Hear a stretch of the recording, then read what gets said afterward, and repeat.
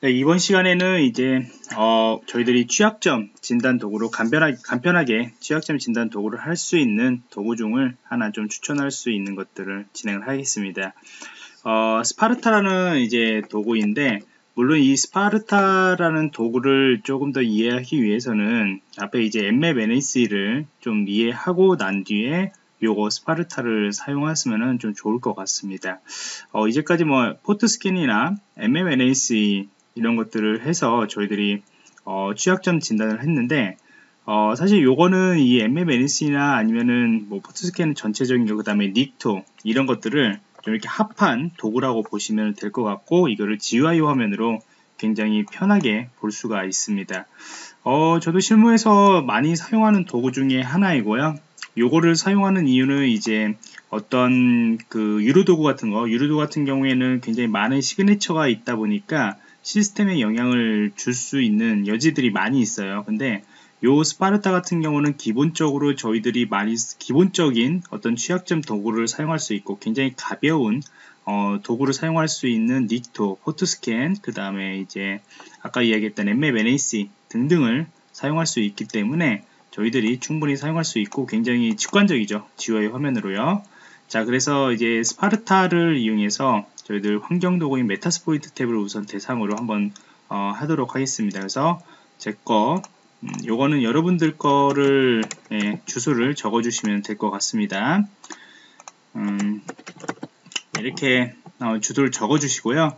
그 다음에 요거를 이제 클릭 다 클릭한 상태에서 바로 add scope를 하시면은 어, 더해진과 동시에 대상이 이제 더해진과 동시에 바로 이제 스크립트가 돌기 됩니다. 그렇기 때문에 항상 이제 IP 주의해서 한번 보시고 난 뒤에 요거를 체크하고 난 뒤에 바로 add scope를 하시기 바랍니다. 그러면 이제 그 범위 저희들이 정한 범위대로 뭐 C클래스면은 C클래스 전체로 정하면 되는 것이고요.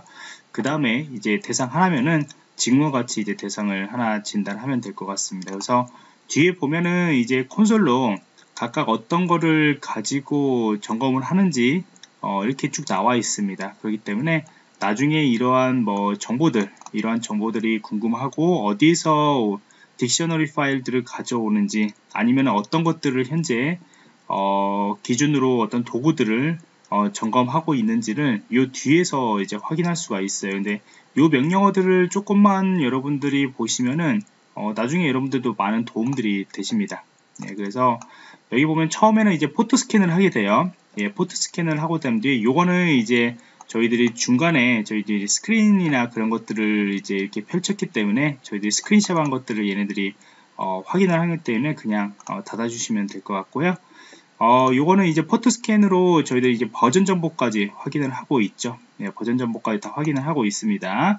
그 다음에 이제 이 버전 정보 나온 거에서 나온 거에서 저희들이 어, 이 나온 것을 기준으로 여기에서는 이제 스크립트를 어, 동작을 하게 됩니다. 그래서 어, 여기 보면 이제 Nikto 네, Nikto 같은 경우에는 저희들이 포트별로 동작이 돼요. 그러니까 80 포트, 그 다음에 이제 이거는 웹 서비스 기반으로 돌아가는 도구이기 때문에 실제 웹 취약점과 관련된 포트들만 여기서 이제 돌아가게 됩니다. 그러면 이제 80 포트하고 그 다음에 Metasploitable 같은 경우에는 여러분들이 아시다시피 8180 포트가 이제 Nikto로 돌아가게 됩니다. 그래서 현재 8180, 8180을 지금 현재 진단을 하고 있죠. 진단하고 있기 때문에 업데이트가 지금 현재 되고가 있, 되고 있습니다. 그래서 앞에서 저희들이 Nikto를 잠깐 이제 다루었듯이 이 매니저 페이지에 지금 현재 Tomcat Tomcat이라고 이제 아이디하고 패스워드가 이렇게 어, 서버 설정, 예, 부적절한 그 관리자 계정들이 존재했을 때 기본적으로 얘네들이 어, 지원을 하고 있습니다. 동일하게. 이게 우리가 Nikto 그냥 화면을 이렇게 GUI 화면으로 본다고 생각하시면 될 것 같습니다. 그렇게 다르진 않습니다. 예, 다르진 않고요. 그리고 현재 이 뒤에서 이렇게 보시면은 어, 관련된 정보들이 어디 어디에 지금 저장되어 있는가 이제 확인을 할 수가 있겠죠. 네, 쭉 보고죠. 네. 네, 쭉 나오고 있어. 아직도 지금 현재 돌고 있죠. 예, 스크린샷 찍은 것들. 이제 스크린샷 찍은 것들 같은 경우에도 지금 여기다가 저장을 하고 있고요. 자, 여기서 좋은 것을 말하면 이 screenshot이에요. 사실 저희들이 어, 이렇게 취약점 진단을 할 때 아까 Nmap NSE에서도 제가 뭐 이렇게 스크린샷 하기 위해서 몇 개 이렇게 어, 바이너리를 가져와고 그 다음에 몇 개 이렇게 음, 뭐라고 하냐 그 간단하게 찍을 수 있는 스냅샷 찍을 수 있는 도구들을 좀 설명을 드렸는데 어, 우리가 포트 스캔을 하고 난 뒤에 웹 서비스가 만약 있다고 한다면은 제일 중요한 게 이제 screenshot이에요. 그래서 screenshot이 만약 찍혀진다면은 저희들이 시간을 예, 시간을 충분히 어, 이렇게 효율적으로 사용할 수가 있겠죠. 그래서 이게 어떤 서비스인지 한눈에 보이기 때문에 한눈에 보이는 거죠. 그 다음에 이제 엠맵 NC가 돌려졌던 것이 바로 요것입니다. 저희들이 이제 엠맵 NC를 관련된 그런 어, 취약점들 현재 보면은 이런 식으로 찍힌 것들을 볼 수가 있습니다. 그래서 MySQL 관련 것들, 그 다음에 SNTP에 관련된 것들. 어, SNTP 같은 경우에도 현재 이러한 프로세스 정보까지 나오면은 이제 안 되겠죠. 프로세스하고 지금 계정 정보까지 나온 거죠. 이런 어, 프로세스 정보 개인정 정보네요. 개, 그 계정 정보에서 계정 정보까지 나오는 이런 정보들이 밖에서 노출되면 안 되겠죠. 그 다음 MySQL 같은 경우에도 현재 뭐 패스워드로 패스워드가 지금 현재 기본으로 설정되어 있는 거죠. 네, 기본으로 설정되어 있어 가지고 여기에서 root로 현재 로그인이 됐다라는 거를 확인할 수 있는 것이고요. 그 다음에 PostgreSQL 저희들 PostgreSQL은 대표적으로 이제 저희들이 앞으로 배우고 나는 그런 Metasploit에서 사용하고 있는 데이터베이스 중에 하나라고 볼 수 있고요. 그래서 Postgre 그 SQL 같은 경우 postgres라고 저희들이 기본 패스워드하고 아이디하고 존재하는 것들을 이렇게 확인할 수가 있습니다.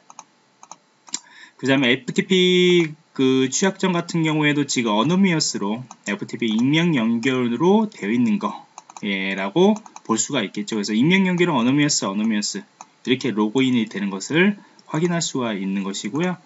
그 다음에 어, 예, 스크린샷, 예, 그 X, X, X 어, 열일에 대한 그런 서비스를 이용해 가지고 저희들이 이제 스크린샷 찍었던 그런 사례를 볼 수가 있습니다. 그래서 8180 같은 경우에도 관리자 페이지 이렇게 저희들이 스크린샷 찍혀 있는 것을 볼 수가 있고요.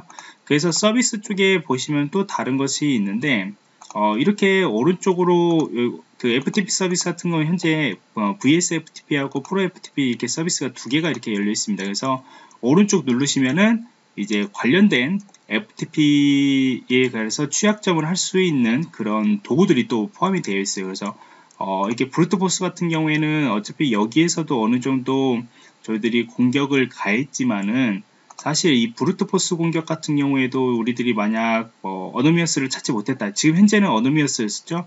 만약 anonymous를 찾지 못했다 그러면은 여기에서 이 FTP 취약점을 이용한 어, 그것을 저희들이 브라우저에서 어떤 word, word list 파일, 그리고 dictionary 파일들을 받아가지고 저희들이 여기에서 스캔을 할 수가 있습니다. 여기도 SSH 어, 서비스를 또 스캔할 수도 있는 것이고요.